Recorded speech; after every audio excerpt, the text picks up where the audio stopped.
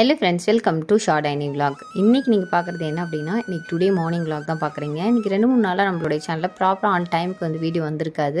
கண்டிப்பாக இனிமேல் வரும் மார்னிங் லெவன் ஏஎம்க்கு வந்து பார்த்திங்கன்னா ஷார்ட்ஸ் வரும். மதியம் ஒரு மணிக்கு வந்து பார்த்திங்கன்னா மெயின் வீடியோ வரும். மறக்காமல் செக் பண்ணுங்கள் இன்றைக்கி காலையில் என்னடா செய்யலாம் அப்படின்னு சொல்லிட்டு பார்க்கும்போது பையனுக்கு வந்து பார்த்திங்கன்னா வாயெல்லாம் பொண்ணு. பையனுக்கு மட்டும் கிடையாதுங்க பாப்பா எனக்கு எல்லாருக்குமே வந்துருச்சு. அதுக்கு முக்கியமான சொல்யூஷன் என்ன அப்படின்னு கேட்டிங்கன்னா மணத்தக்காளி கீரை தான். சரி சந்தைக்கு போயிட்டு இந்த மாதிரி மணத்தக்காளி கீரை வாங்கிட்டு வந்தேன். அது முதல் நாள் நைட்டே ஃபுல்லாக க்ளீன் பண்ணி வச்சாச்சு சரி இதை குட்டி குட்டியாக நல்லா கட் பண்ணிவிட்டு அதுக்கப்புறம் ஒரு ரெண்டு கப் வந்து உளுத்தம் பருப்பு போட்டுட்டு அதை நல்லா வாஷ் பண்ணி தண்ணி எடுத்துகிட்டு இதையும் வந்து கீரையும் அது கூட வாஷ் பண்ணி சேர்த்துட்டேன். இது கூடயே கொஞ்சம் பூண்டு அப்புறம் மஞ்சள் பொடி எல்லாம் சேர்த்து நல்லா வந்து இது வேக வச்சு எடுத்துக்கிட்டாச்சு.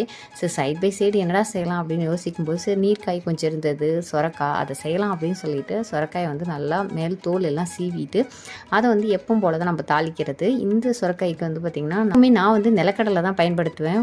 நீங்கள் என்ன போடுவீங்க அப்படின்னு சொல்லிட்டு கீழே கமெண்ட் செக்ஷனில் சொல்லுங்கள் சுரக்காய் கொத்தரங்காய் இந்த மாதிரி சில காய்கறிகளுக்கெல்லாம் வந்து பார்த்திங்கன்னா நிலக்கடலை வறுத்துட்டு அந்த பவுடர் சேர்த்திங்க அப்படின்னா சூப்பராக இருக்கும். கொஞ்சம் அது கூடயே பூண்டும் சேர்த்து அரைச்சி போடலாம். நல்லா குட்டி குட்டி பீஸ்க்கெலாம் கட் பண்ணிட்டு நல்லா வதக்கிட்டு அதுக்கப்புறம் அதை வந்து சேர்த்துக்க வேண்டியதான் ஸோ சைட் பை சைடு வந்து பார்த்திங்கன்னா நிலக்கடலையும் வறுத்து எடுத்து வச்சுக்கிட்டேன். அதுக்கப்புறம் பருப்பும் கீரையும் வேக வச்சுருந்தேங்க. என்ன ஆச்சு அப்படின்னு கேட்டிங்கன்னா குக்கரில் இருக்கக்கூடிய தண்ணி ஃபுல்லாக வெளியில் வந்துட்டு கொஞ்சம் கம்மியாக தான் வெந்திருந்துச்சு. பருப்பு சரியாக வேகல. சரி இது என்ன பண்ணலாம்? இருக்கவே இருக்கா நம்ம கையில் ஒரு மிக்ஸி அப்படிங்கிறத பயன்படுத்தி நல்லா அரைச்சிட்டேன். அதுக்கப்புறம் இதில் நல்லா வெந்துருச்சு சுரக்கா. அது கூடயே நிலக்கடலை வறுத்து போட்டு இறக்கிட்டேன். இதை வந்து அப்படியே சாதத்தில் கூட பிசைஞ்சு சாப்பிட்லாம். செம்ம டேஸ்ட்டாக இருக்கும்.